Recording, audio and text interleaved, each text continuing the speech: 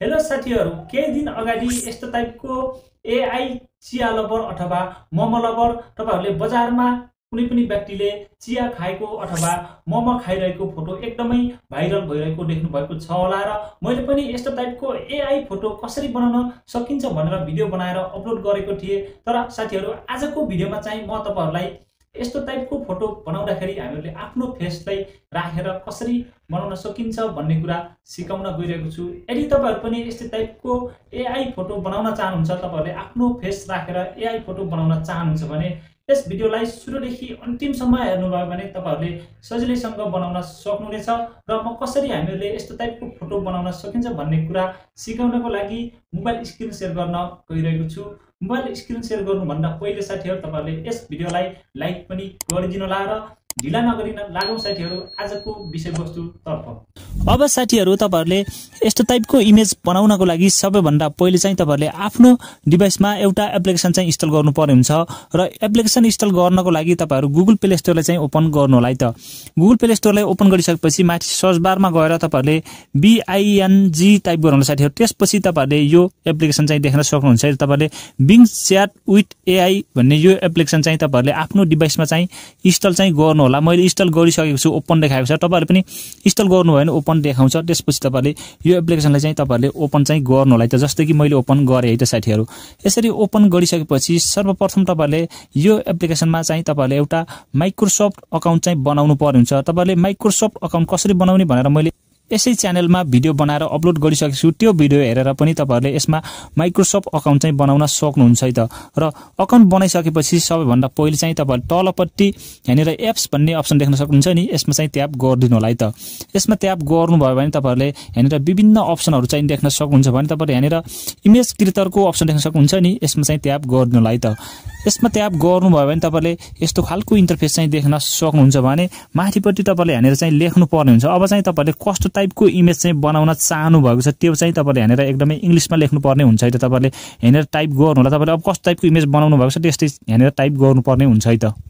जस्तै कि साथीहरू मैले यहाँनिर टाइप गरेँ Korean men eating tea in Nepalese market भनेर टाइप गरे साथीहरू तपाईँहरू पनि यस्तै टाइपले लेख्नु होला। त तपाईँले अब कस्तो टाइपको बनाउनु भएको छ यति गरिसकेपछि चाहिँ यहाँनिर तलपट्टि क्रिएटको अप्सन चाहिँ देख्न सक्नुहुन्छ नि। तपाईँले यो क्रिएटको अप्सनमा ट्याप गरिदिनु होला है त। यसमा ट्याप गर्नुभयो भने केही टाइमपछि चाहिँ तपाईँहरूलाई यहाँनिर एआईले तपाईँहरूले लेखेको जस्तै इमेज चाहिँ बनाएर दिन्छ है त साथीहरू टाइम लाग्छ केही टाइमपछि चाहिँ तलपट्टि तपाईँहरूले यहाँनिर तपाईँहरूले जस्तो लेख्नु भएको छ त्यस टाइपको इमेज चाहिँ बनाएर दिन्छ र टाइप गर्दाखेरि तपाईँहरूले आफ्नो फेस राख्नको लागि चाहिँ तपाईँहरूले आफ्नो फेससँग म्याच गर्ने खालको चाहिँ इमेज चाहिँ टाइप गर्नुपर्ने हुन्छ है त। जस्तै कि मैले यहाँनिर लेखे अनुसार चाहिँ इमेज आइसकेको छ है त साथीहरू र यति गरिसकेपछि अब म यो इमेजलाई चाहिँ तपाईँहरूले डाउनलोड चाहिँ गर्नुपर्ने हुन्छ। यसरी इमेजमा ट्याप गर्नु होला इमेजमा ट्याप गरेर तपाईँहरूले यो इमेजलाई चाहिँ तपाईँहरूले डाउनलोड गर्नुपर्ने हुन्छ। यहाँनिर यो थ्री डटमा ट्याप गर्नु होला त्यसपछि यहाँ डाउनलोडको अप्सन आउँछ। त्यसपछि तपाईँहरू यहाँनिर यो डाउनलोडको अप्सन चाहिँ ट्याप गरिदिनु है त।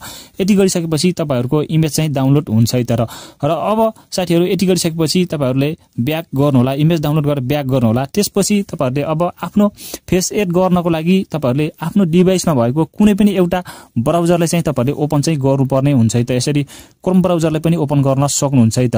र क्रोम ब्राउजरलाई ओपन गरिसकेपछि अब चाहिँ तपाईँहरू सर्वप्रथम यहाँनिर सर्च बारमा जानु होला सर्च बारमा गइसकेपछि तपाईँहरूले टाइप गर्नुपर्ने हुन्छ साथीहरू तपाईँहरूले फेस स्वाइप एआई टाइप गर्नु साथीहरू जस्तै कि यहाँनिर मैले टाइप गरेँ है त।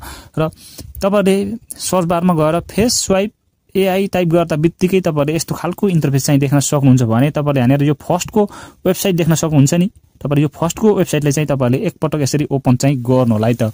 यसरी फर्स्टको वेबसाइटलाई ओपन गर्दा बित्तिकै तपाईँहरूले यस्तो खालको इन्टरफेस चाहिँ देख्न सक्नुहुन्छ भने तपाईँले यहाँनिर देख्न सक्नुहुन्छ नि स्टार्ट फेस स्वाइपिङ भन्ने देख्न सक्नुहुन्छ नि। यहाँनिर चाहिँ टाइप ट्याप गर्नु होला है त। ट्याप गर्दा बित्तिकै तपाईँहरूले यहाँनिर यस्तो खालको इन्टरफेस चाहिँ देख्न सक्नुहुन्छ भने अब चाहिँ तपाईँले यहाँनिर दुईवटा अप्सन देख्न सक्नुहुन्छ नि। तपाईँले यहाँनिर पेन्सिलको अप्सन र यहाँनिर पनि पेन्सिलको अप्सन देख्न सक्नुहुन्छ है त। अब चाहिँ तपाईँले यहाँनिर यो फर्स्टमा चाहिँ तपाईँहरूले आफ्नो फोटो चाहिँ सेलेक्ट गर्नुपर्ने हुन्छ अब तपाईँहरूले फोटोमा चाहिँ आफ्नो फेस एड गर्नु छ त्यसको लागि चाहिँ तपाईँहरूले यो फर्स्टमा सेलेक्ट गर्नु यो पेन्सिलको आइकनमा सेलेक्ट गर्दा बित्तिकै तपाईँहरूको यहाँनिर ओपन हुन्छ है त। यहाँनिर अब चाहिँ तपाईँहरूले अब आफ्नो फेस पनि लगाउन सक्नुहुन्छ। अब तपाईँले कुन चाहिँ फेस लगाउन चाहनु भएको छ त्यसै व्यक्तिको इमेज चाहिँ सेलेक्ट गर्नु होला। जस्तै कि म आफ्नै इमेज चाहिँ सेलेक्ट गरेँ है त। र यति गरिसकेपछि माथिपट्टि डनको अप्सन देख्न सक्नुहुन्छ नि तपाईँले यहाँनिर। यो डनको अप्सनमा ट्याप गर्नु होला है त। यसमा ट्याप गर्दा बित्तिकै तपाईँहरूको यहाँनिर तलपट्टि यो कन्फर्मको अप्सन देख्न सक्नुहुन्छ नि। तलपट्टि यहाँनिर यो कन्फर्मको अप्सनमा ट्याप गर्नु है त। र फर्स्टमा त भयो अब तपाईँहरूले एड गर्न चाहनु भएको इमेज चाहिँ सेलेक्ट गर्नुभयो। अब चाहिँ तपाईँहरूले यो सेकेन्डको पेन्सिल आइकन देख्न सक्नुहुन्छ नि। यसमा चाहिँ तपाईँहरूले एआईबाट बनाएको फोटो चाहिँ सेलेक्ट गर्न सक्नुहुन्छ है त। जस्तै कि म सेलेक्ट गरेँ भर्खरै हामीहरूले यो डाउनलोड गरेको फोटो चाहिँ सेलेक्ट गरेँ है त। यति गरिसकेपछि डनको अप्सनमा ट्याप गरेँ है त।